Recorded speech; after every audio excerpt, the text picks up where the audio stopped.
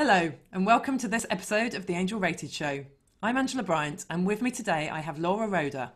Laura is the founder and CEO of Meet Edgar and Paperbell. So, Laura, do you want to just start by yeah, telling us a little bit about yourself and your businesses?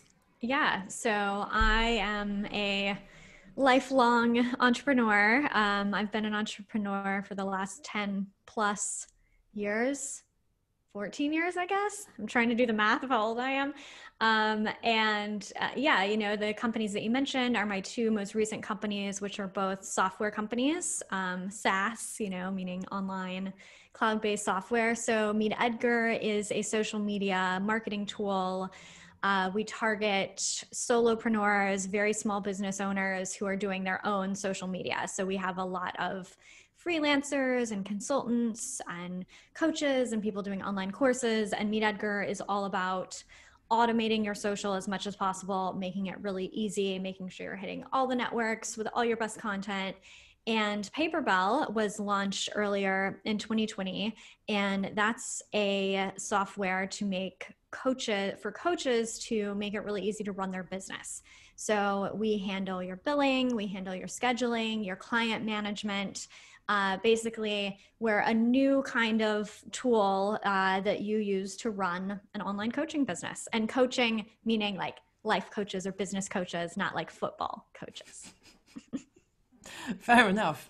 So what in in either of those cases what was the reason behind you starting those businesses those software companies?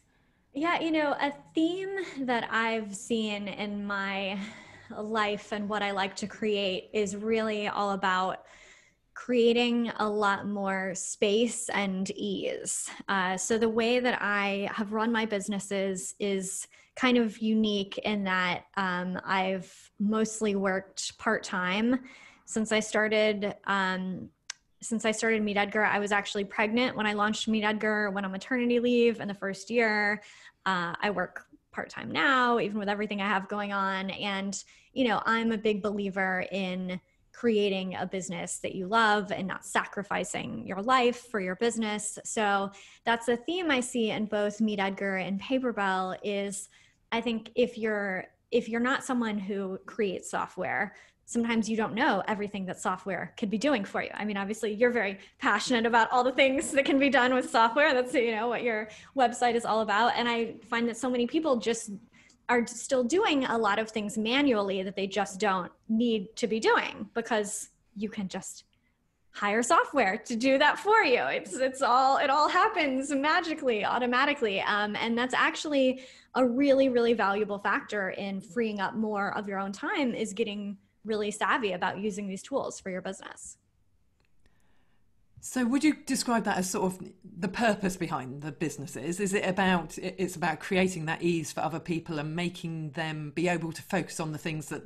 they only they can do that they're brilliant at? Exactly, exactly. So with Paperbell, you know, we talk about how if you're a coach, you you do it because you love coaching right? Not because you love figuring out time zone converters and trying to make sure that you know 6 p.m for them is 4 p.m for you. Like that's not why anyone became a coach. You became a coach because you love experiencing that client transformation. So yes that's definitely a big purpose for me. And same with social media right? Like it can be fun to be on social media but just sending out the updates to Twitter and organizing what you're doing for the week. I mean, some people love it and some people think it's fun. A lot of business owners, it's just sort of a chore that you have to get done to promote your business. So, whatever I can do to help take care of or automate those chores for people, I mean, I think it's sort of the dream. Like, if you're a coach, it's the dream that you could just work with your clients and you would never have to market you know you would never have to do billing like you could just like show up and help people so i think whatever I can do to get people closer to that dream. And before you started doing software stuff, you were you were were you coaching yourself?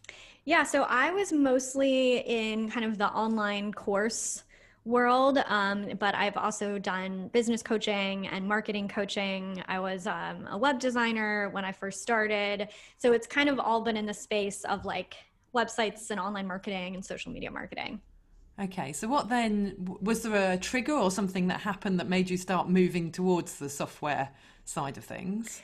Yeah, so before I launched Meet Edgar, I was teaching uh, courses primarily about social media marketing and there was one course in particular that you can still you can still take today if you look up social brilliant it's called social brilliant and basically in social brilliant i created this whole methodology for how to manage your social media in a way that was making sure to keep repurposing all of your content. You know, most entrepreneurs are creating a ton of evergreen content, meaning it's still just as useful two years from now as it is today. But the problem that I saw then is still the problem that I see today. A lot of people don't bother to keep showing their content, right? They record a podcast or they write a blog post and they promote it that week. But if you discover them a month later, six months later, three years later, you might never see that great piece of content. So basically, I had a manual system involving lots of color coded spreadsheets that I was teaching people as a way to sort of manage and a strategy for their social media. And the way I got into software was really meeting my husband, Chris. So, my husband, Chris, is my co founder. He's the software developer that has built um, Meet Edgar originally and now has built Paperbell. And basically, I, not being a software developer, I didn't understand why the social media tools didn't do all these things that I was teaching people to do. But I was like, I guess they, I guess they can't. I don't know. It seemed really obvious to me, all these ideas I had for Meet Edgar. I didn't understand why the tools of the time were doing it. But Chris is like, yeah, the tools could do that. Like I, I could build that. So I'm like, great, do it. And that's, that's how I got into software. Fantastic. And for, I mean, I guess people looking at you now might think that you have a really massive team and that there's lots of you, you know, and that you are maybe slightly disconnected from people who are coaching and who are one man bands and you know mm. just on their own solopreneurs. But that's not the case is it? It's just still just you and your husband. Yeah so i'm i'm it's kind of fun right now because i'm really experiencing two really different ways to work. So for meet edgar I am largely out of the business. Uh, we have a president that runs the company. You know, we have an executive team that runs the company. So I'm just doing very high level advising. For Paperbell, at the time of this recording, it's me and Chris. I mean, I've, I've just hired a, a VA, you know, like we have a few little freelancers and stuff helping us. I'm doing all the customer service myself. Um, so yeah, I'm, we're still in the early days where it's, it's all I'm kind of doing everything. It's all very hands on, which is actually really fun and I'm really enjoying. So that's very similar, I guess, to a, yeah, a lot of the coaches that would be mm. looking to use it. And what's your vision for the for either company or both companies moving forwards for the next, you know, five or ten years? Where would you like to see them heading? I mean, for Paperbell, my vision is just to really create a new category for software. So, right now, uh, there have been some tools that have come before us that help in some similar ways of helping coaches manage their business, but none of them have really become mainstream. Like, there's, I would say, most coaches still don't know these tools. You know, I would say part of the reason is that none of them were quite as good as Paperbell is. I, of course, think that Paperbell is the best. So, knowing how much it helps coaches, you know, for example, to always be paid upfront. So, part of our philosophy at Paperbell is instead of invoicing people and then waiting for them to pay you and then checking back to see if they've paid you and then checking back for the scheduling, you just do that all with Paperbell. So, you send your client a link, they pay and they schedule all in one place. It's all tied together. You don't have to keep following up. You don't have to keep chasing people down. Uh, I just I don't want coaches to have to chase people down for money. I just don't. It's just not it's not fun for anyone, you know. So my vision for Paper Bell is to really make this a category that all coaches know that they need. You know, just like people know that okay, if I want to send out a newsletter, I need an email marketing tool. I want coaches to know okay, if I want to run an online coaching business, I need Paperbell or, you know, maybe some bad knockoff of Paperbell that'll come in the future. I know how it is. I've had it happen with Meet Edgar, but we'll, we'll still be the best one. So it's okay. But yeah, I, I just, I want to create a new way for coaches to do business where it's just a no brainer that you're going to use Paperbell to handle your scheduling, handle your billing, handle all the admin of your business. Sounds great. Yeah, sounds like just what's needed. And having that vision to create something from scratch and that is different and disrupts, you know, what's going on out there is fantastic. So, what is it? Have you got a sort of a legacy you want to create out of the back of that, or something you want to be known for? apart from what you've already said about sort of disrupting it and creating something new is there Yeah, a I bigger mean- picture I don't know if I, I'm not someone who thinks much about the word legacy. I actually kind of think a lot about the opposite, um, in that, eh, you know, I think sometimes we have this idea like you have to be really important, quote unquote important, or you have to be really famous, or you have to be really well known in order to make an impact in the world, right? And eh, people who make an impact in their own families and their own communities among their own friends that's kind of what affects us all on more of a day-to-day basis you know? Like we might have a celebrity that we admire but what makes up our quality of life is the people that are around us. Um, and i think sometimes for entrepreneurs there's this pressure to do everything really big you know to like to, that your company has to be enormous or that you have to be not just a nutrition coach but america's number one nutrition coach with your own tv show you know? So i i like to kind of think of the impact that i'm making on people every day which one way that i do that is with the tools that i've created right to make entrepreneurs lives a little easier.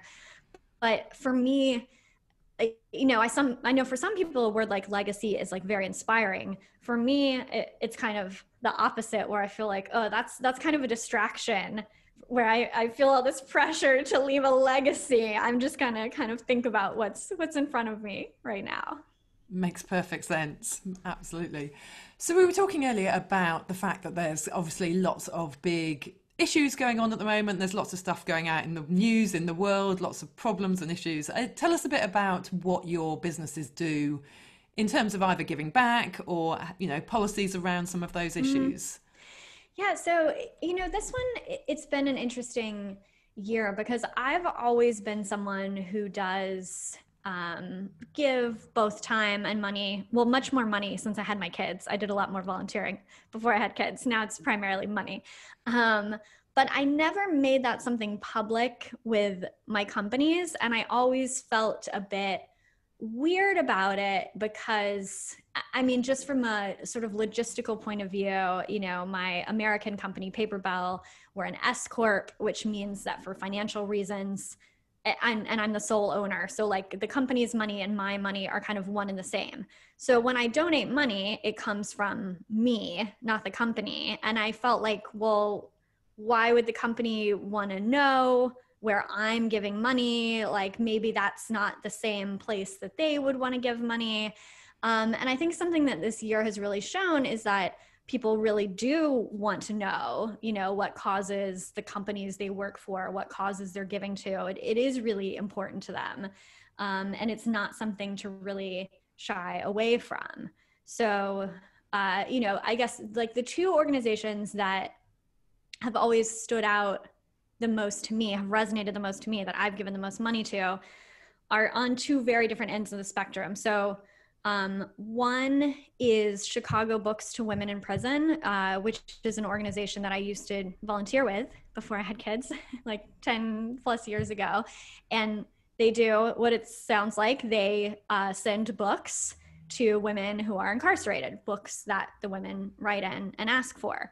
Uh, most American prisons have no libraries. Like people have a vision that's maybe very different from reality about how hard it is to access education or, or just books for fun um, in prisons. And that one was an incredible experience to volunteer for because you have just this very close connection to the person that you're helping because you're literally reading a letter that someone sent you.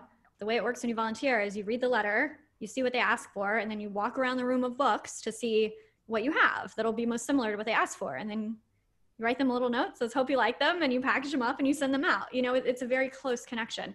And that's inspiring to me because I get moved by the idea of being able to give people a little help that maybe are feeling like they've been forgotten. You know, I'm sure a lot of people that are receiving this books um, have not received a lot of help in their lives, right? There have been a lot of times where they've hit dead ends, where they haven't gotten any help, where they really needed help. So just this small gesture of thinking, oh, okay, somebody I don't know cares enough to read my letter, to send me a book in the mail can be really meaningful. And, and I mean, we would hear back that it often was very meaningful for people. Um, and obviously, in light of Black Lives Matter, there's a lot of Black lives that are being helped by that program. You know, as we know in America, um, Black people are disproportionately incarcerated. Uh, also, earlier this year at Meet Edgar, which is you know the company that has employees, not Paper Bell, which is just me and my husband, um, we did give.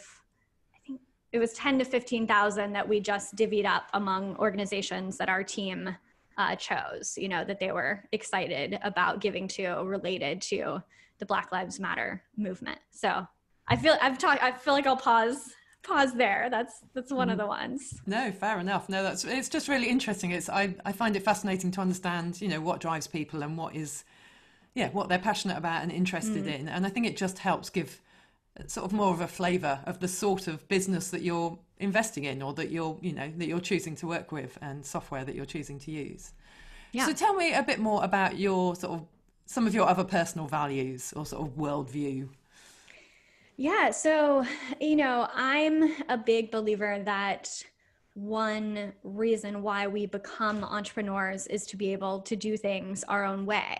And it's so easy to start a business and get trapped in this idea that uh, you know you'll only succeed if you work crazy hours or also just ideas about how things have to be done you know in the online space we see you have to do webinars or you have to charge a lot or you have to charge a little or you have to do a facebook ad funnel you know and it can be really overwhelming. Sometimes you look at these things and you think, I don't like that. I, I don't want to do that. And someone says, you have to, it's the only, it's the only way, you know, that you'll succeed is if you do it my way. Um, and of course we can look around and see that there's a million ways to do anything. Right. And to me, if you're not enjoying your business, and of course you're not going to enjoy every moment, right? Of course, you have to file your taxes, and sometimes there's just really boring stuff that has to be done. But what your work is made up of in the day to day should be enjoyable to you. I mean, I believe this is something everyone should strive for, right? Whether you're an entrepreneur or not, whatever your job is, uh, for you to move towards a job that you enjoy or find, you know, how you can enjoy the job you have. Sometimes you have to do a bit of both, but especially if you're an entrepreneur, the whole idea is that you're crafting your own thing. So I'm just really passionate about encouraging entrepreneurs to really do things the way that you want to do it. Whatever sounds fun to you, whatever sort of programs you want to create, you know, you you are allowed to do that. I give you permission to do that. I think a lot of people need to hear that permission. That's really important. So, how do you apply that in your business? What What do you not do that goes against the the received wisdom of what you ought to do as an online business owner? Well, I'm I'm seeing a lot of it now because uh, you know I'm in the UK. Most of our audience for Paper Bell is in the US, uh, and I only work till 2:30 p.m. UK time. Basically, what I'm saying is my workday is pretty much done by the time America starts. Completely by the time West Coast in America starts. Um, and that means that I'm not doing uh, you know, customer support during like prime time for a lot of our customers. A lot of them have to wait until the next morning to hear back from me in the UK. I'm not recording podcasts in the evening because I don't want to work in the evening, even though that's been like a great strategy for me in the past is to be, there's all these bigger American podcasts um, that I'm just not doing. And it's actually been kind of an experiment with Paperbell. You know, I'm fortunate to um, be good financially. I still make a great income from Meet Edgar. So something that my husband and I talked about with Paperbell is like, we, we don't, we don't need the money from Paperbell, right? So if we don't need the money, let's make the process enjoyable for us. Like, let's do this business because we enjoy doing this business. So often that means it moves a lot slower, right? Like, we can move a lot faster if neither one of us works full time. We could move a lot faster if both of us were working full time. Um, we can move a lot faster if we were willing, you know, to work like American hours and maybe have some more of those opportunities. But that's not what's fun for us right now. So we really try to keep ourselves to this for Paper Bell. Like, okay, if, if we're not if we're not doing it for the money, I mean, happy to earn money from it. Don't don't get me wrong, but that's not really why we started it. It's because we were excited to start this company.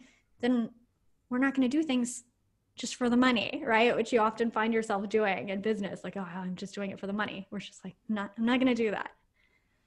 So it's very much about setting up your day and your way of working to suit your life and suit what, mm-hmm. what it is that you want to achieve and yeah, how you want to set your life out. Yeah, yeah. Fantastic. So just to start wrapping up, tell us something else about you. Um, something like maybe what makes you laugh the most often, or what it's like living in the UK. Actually, how how are you finding it as a an American living in the UK? Yeah, so I've been in the UK for about two and a half years now. I've been here a lot on and off before that, but that's when I full time moved here. Um, it's an excellent time to be an American who's left America. so some some good timing on that one. Um, you know, it's it's fun for me. I think it is i mean the uk and the us i think are very similar culturally and i think the uk is probably the most similar to america culturally as far as european countries um, but i do think it's a bit more family oriented here you know life is a little slower here um, work is a lot slower here for good and bad i think it can be frustrating to americans who are used to you know just everything happening instantly. Americans are used to this what what Americans call customer service, which English people are like, "Whoa, chill out! Like, why are you in my face?" so yeah, why are you being so pushy and aggressive? You know, but Americans are expecting like lots of follow up and lots of you know making the first move and reaching out and stuff, which isn't necessarily how businesses operate here. Um, but also, you know, like my grocery store closes at like four o'clock on Sunday, right? Like the big chain grocery stores. In America, all grocery stores are open literally 24 hours a day, every day. You know, it's just, it's little things like that. And it's, you know, it's not like the UK is so like quaint. I mean, you can still go to the big box store here a lot of the time. Um, but just little, those little changes, I think, are kind of a signal like, okay, there's other things to do besides buy stuff. you know in america it's a lot of buying stuff all the time uh, that's really interesting yeah really good um, observations that yeah we take for granted obviously in the uk and think that's normal and then somebody yeah. it's really nice to hear when somebody else sort of reflects something back that's slightly different so is there anything else that you want to tell us about paperbell? Anything we've not touched on that is or any thoughts you have about yeah online business or software or anything else that you'd like to share?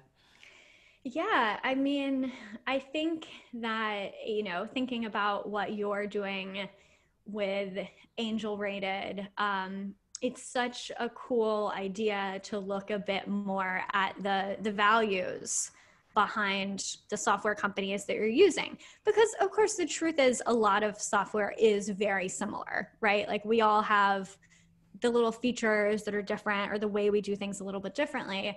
But at the end of the day um, a lot of the core functionality is the same with different pieces of software. And I think it's a really cool idea to not just choose on which tool has like the cuter font, you know, but instead um, really educate yourself a bit more about how companies are run. You know, at Meet Edgar, um, you can Google our handbook, and we have a public handbook with a lot of our policies and how we run the business. Which a lot of I've heard a lot of feedback that other companies have modeled those policies, which which is really cool.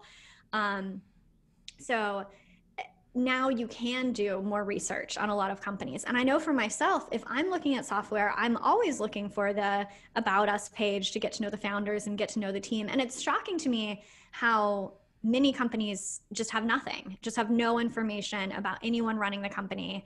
Uh, and to me, it's a big turnoff because I want to feel like I can connect you know with with the people behind what i'm doing so i i think that's really cool and i would encourage everyone who's listening to kind of take a moment and do a bit of research about the tools that you're using, whether that's looking on their website, um, sending us an email. I mean, that was something interesting when, um, you know, the big Black Lives Matter movement was kicking off earlier this year, we started receiving more emails at Meet Edgar asking us questions about what is what does the makeup of your team look like and you know who do you donate to and what are your diversion diversity and inclusion practices in your hiring? Um, and it was really cool seeing customers reach out to us reach out to us and ask those questions. So you can ask those questions to the companies that you're using too.